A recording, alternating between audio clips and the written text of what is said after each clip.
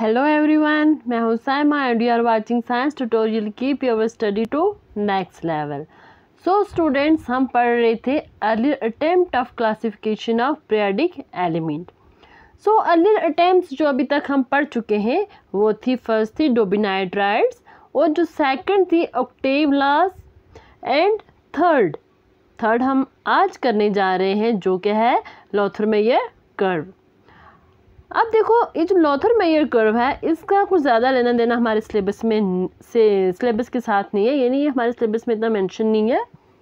लेकिन फिर भी हम इसको पढ़ेंगे। क्यों हम इसको पढ़ेंगे? बिकॉज़ जो आगे मंडीव ने पीरियडिक टेबल बनाया था, जो क्लासिफिकेशन दी थी एलिमेंट्स की, वो इसके बेसिस पर है। किसके बेसिस पर है? लॉथर मेयर कर्व के बेसिस पर so today's topic of discussion is Lothar Meyer's curve. आज हम लॉथर मेयर्स कर्व के बारे में थोड़ा सा जान लेते हैं। एंड नेक्स्ट हम पढ़ेंगे जो जो क्या है Mendeleev periodic table and Mendeleev periodic law. अब लॉथर ने क्या किया था? एक कर्व प्लाट की थी between atomic weight and atomic volume of different element किस किस के बीच में उसने एक कर्व ड्रा की, प्लॉट की? Atomic weight and atomic volume different elements लिए। जिनमें उसने एक प्लाट ग्राफ किया between atomic weight and atomic volume अब हम देखते हैं उसने कैसा प्लाट ग्राफ किया था। ग्राफ प्लाट किया था। यह आ गया हमारे पास atomic volume atomic volume along the Y axis along the X axis आ गया हमारे पास एटॉमिक वेट अब उसने क्या किया? डिफरेंट एलिमेंट को अरेंज किया। इस कर्व को पढ़ने से पहले हम एक छोटा सा कंसेप्ट पढ़ लेते हैं दैट इज़ मास हम जानते हैं कि जो हमारे पास मास होता है mass is directly proportional to volume अगर मास इंक्रीज होगा तो हमारे पास वॉल्यूम भी क्या होता है? इंक्रीज होता है। हम मोस्ट ऑफ़ द थिंग्स में देखते हैं कि जैसे हमारे पास मास बढ़ेगा तो वॉल्यूम भी बढ़ती है।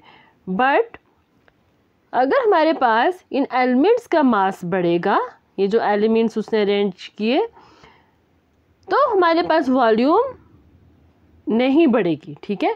जो हम कैसे कह सकते हैं कि वॉल्यूम नहीं बढ़ेगी? वॉल्यूम बढ़ेगी, लेकिन पीरियडिकली बढ़ेगी। और जो इंक्रीज होगी वो भी बहुत ही स्मॉल अमाउंट में होगी, ठीक है? इन केस ऑफ़ एलिमेंट्स अब हम देखते हैं, समझते हैं इस रिलेशन को। ये कैसे होता है?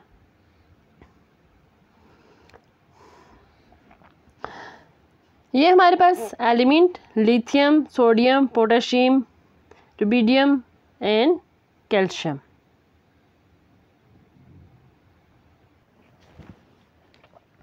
अब देखो, ये ग्राफ क्या कहता है? इसने एलिमेंट्स को अरेंज किया according to their increasing atomic masses lithium sodium potassium rubidium and calcium अब जैसे जैसे हमारे पास एटॉमिक मास बढ़ेगा एटॉमिक वेट बढ़ेगा, जो वॉल्यूम है वो भी इंक्रीज होगी। वॉल्यूम इतनी ज़्यादा हम कह सकते हैं अदर वर्ड्स ये भी कह सकते हैं कि वॉल्यूम इंक्रीज नहीं होगी। क्यों हम कहते हैं कि वॉल्यूम इंक्रीज नहीं होगी? देखो, जो वॉल्यूम इंक्रीज हो रही है, वो हो रही है पीरियोडिकली कौन सी हो रही है? किस तरह से होगी? पीरियोडिकली पीरियडिकली इसमें कुछ प्रॉब्लम आ रही है, लिखा नहीं जा रहा। तो हमारे पास मैंने क्या कहा कि वॉल्यूम इंक्रीज हो रही है पीरियडिकली कैसे? ये पीरियडिकली का मीनिंग क्या होता है? सबसे पहले हम ये देखते हैं। देखो, जैसे हमारे पास डेज़ होते हैं, अगर हम कोई एक सा डे ले लें मंडे सपोज़ मंडे अब जो हमारे पास मंडे है मंडे वीक में रिपीट होता है। आफ्टर सिक्स डेज़ आपके पास मंडे अगेन आएगा। है ना? ये हो गया कि मंडे आ रहा है पीरियडिकली और हम कहेंगे कोई मंथ है जैसे कि आपके पास जनवरी है। जनवरी आफ्टर अलेवेंथ वन वो भी रिपीट होगा। ये ये जो इंक्रीज होती है, इस इंक्रीज को हम कहते हैं पीरियडिकली यानी कि ये जो डे आ रहे हैं दैट इज़ मंडे आ रही है, जो मंथ आ रहा है, हम ये भी कह सकते हैं कि पीरियडिकली आ रहे हैं, ठीक है? पीरियडिकली का मीनिंग समझ आया? होप आपको पता चला होगा। तो ऐसे ही जो एलिमेंट्स हैं, इनमें जो इंक्रीज़ होती है, वो इंक्रीज़ कैसे होती है? वो इंक्रीज़ होती है पीरियडिकली देखो, ये हमारे पास लिथियम है। पहले ये पीक गई नीचे। फिर यहाँ से इंक्रीज होना स्टार्ट हुआ, गया पीक आई हमारे पास ऊपर। उसके बाद फिर से फॉल डाउन फिर इंक्रीज हुआ, फिर फॉल डाउन ये जो इंक्रीज और डिक्रीज हो रहा है, क्या हो रहा है? इंक्रीज और डिक्रीज इस वजह से जो हमारे पास वॉल्यूम है, वो हम कह सकते हैं कि वो सेम रहती है। यानी कि ये सिर्फ़ बढ़ ही नहीं रहा, ऐसे अटोमिक वेट के साथ सिर्फ़ मास ऊपर ही नहीं जा रहा बट कि ये जो पीक है, ऊपर पहुँचने के बाद वापस से फिर नीचे आती है। बट ये जो इंक्रीज़ होती है, ये इंक्रीज़ बहुत ही स्मॉल अमाउंट में होती है। देखो, जैसे हमारे पास ये फ़र्स्ट पीक है हम देखते हैं सोडियम लिथियम की। यहाँ से ये इंक्रीज थी, आई, नीचे फॉल डाउन हुई। अब ये जो पीक ऊपर जा रही है, ये देखो, पहले वाली पीक से थोड़ा सा ज़्यादा है थोड़ी सी बड़ी है। फिर फॉल डाउन नीचे आई, फिर ऊपर की। अभी सेकंड पीक से थोड़ी सी ज़्यादा है। यानी इंक्रीज़ हो रही है, लेकिन बिल्कुल स्मॉल अमाउंट में हो रही है। फिर फॉल डाउन नीचे एंड देन फिर ऊपर मीडियम फिर गिरी, फिर पीक आई। दैट इज़ हम ये कह सकते हैं कि विद इंक्रीजिंग अटोमिक वेट और atomic mass the change in volume is periodically क्या हो रही है? हमारे पास जो चेंज इन वॉल्यूम वो हो रही है periodically the following observation can be made from the curve इस कर्व से हमने ये जो नीचे दी गई हैं, ये ऑब्जर्वेशन निकाली, ये चीज़ें हमें पता चली। फ़र्स्ट क्या है?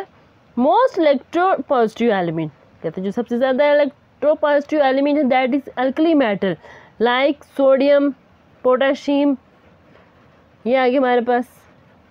Like sodium potassium lithium occupy the peak position in the curve जो सबसे ज़्यादा इलेक्ट्रॉन पॉजिटिव मेटल होंगे, हमारे पास आर एलिमेंट होंगे, वो कर में पीक पोजीशन ऑक्यूपाई करेंगे। ये है इसकी फ़र्स्ट स्टेटमेंट ठीक है? ये देखो पीक पोजीशन ऑक्यूपाई कर रहे हैं। अब सेकंड क्या कहता है? Less electropositive that is alkali earth matter alkaline earth matter that is beryllium magnesium and calcium occupy the descending position on the curve ये देखो, ये आपके पास है बी बेरिलियम मैग्नीशियम आगे हम देखेंगे ऐसे कैल्शियम ये जो कौन सी पोजीशन ऑक्यूपाई कर रहे हैं, ये ऑक्यूपाई कर रहे हैं हमारे पास डिसेंडिंग पोजीशन कौन से डिसेंडिंग पोजीशन ऑक्यूपाई कर रहे हैं हमारे पास? एल्कली मेटल और less electropositive metals are elements. अब नेक्स्ट जो थर्ड स्टेटमेंट है, वो है metalloids in transition metal occupy bottom part of the curve कि जो भी हमारे पास मेटलाइड हैं या फिर ट्रांजिशन मेटल होंगे, वो बॉटम पार्ट कर्व का ऑक्यूपाई करेंगे। ठीक है? ये आ गया हमारे पास bottom part the fourth fourth statement क्या कहती है? फोर ऑब्जर्वेशन क्या हमारे पास कहती है? कि most electronegative that is halogen जो हमारे पास हेलोजन है that is fluorine chlorine bromine वो असेंडिंग पोजिशन ऑक्यूपाई करेंगे ऑन द कर्व कर्व कौन सी पोजिशन ऑक्यूपाई करेंगे? असेंडिंग पोजिशन ये आ गया हमारे पास फ्लोरीन क्लोरीन ये देखो असेंडिंग ऊपर जा रही है हमारे पास कर्व है यहाँ पे. यहाँ पे. ठीक है? और इसी के बेसिस पर इसी की चार ऑब्जर्वेशन के बेसिस पर जो हमारे पास मेंडलीव थे, उन्होंने नेक्स्ट अटेम्प्ट पीरियडिक टेबल की और एलिमेंट्स को क्लासिफाई करने की। लॉथर मेयर्स का सिलेबस में तो नहीं है इतना। एनसीईआरटी में भी इसकी वन टू लाइन दी गई है और ज़्यादा कोई कंसेप्ट नहीं दिया गया, ना ही एलेवेंथ क्लास में आगे दिया गया। बस इसको हमारा पढ़ाने और बताने का मकसद ये था कि आपको थोड़ा सा बेसिक आइडिया हो जाए कि एक्चुअल में लॉथर मेयर कर्व में है क्या? और क्योंकि इसी के बेसिस पर आगे ड्राइव किया गया है मैंडली प्रियाडिक टेबल और जो हमें डिटेल में पढ़ना है, वो हमारे पास Mendeleev periodic table and modern periodic table hope आपको समझ आया होगा। इसमें कुछ भी नहीं था जस्ट ये था कि विद इंक्रीजिंग एटॉमिक मास जो हमारे पास चेंज हो रही है, वो क्या हो रही है? चेंज इन वॉल्यूम पीरियडिकली हो रही है. Thanks for watching me